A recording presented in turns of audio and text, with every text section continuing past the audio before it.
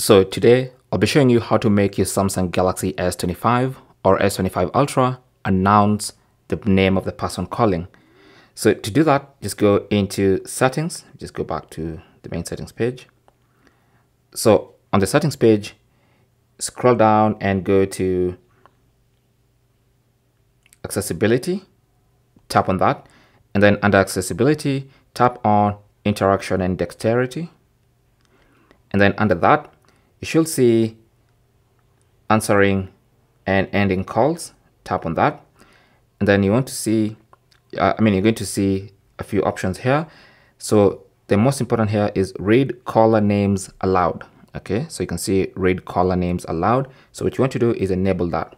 Now, once you enable it, you can tap on that and then have some some options okay? So you can only make this available over bluetooth and headphones only. So if you're wearing bluetooth headphones then your phone will announce the name of the caller.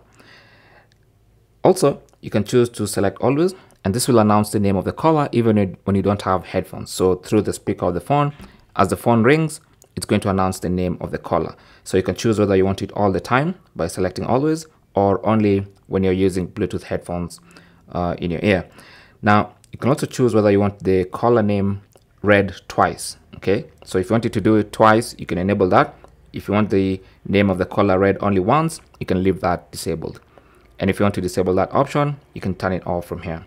So that is basically how to make your Galaxy S25 or S25 Ultra read caller names out loud. Thanks for watching.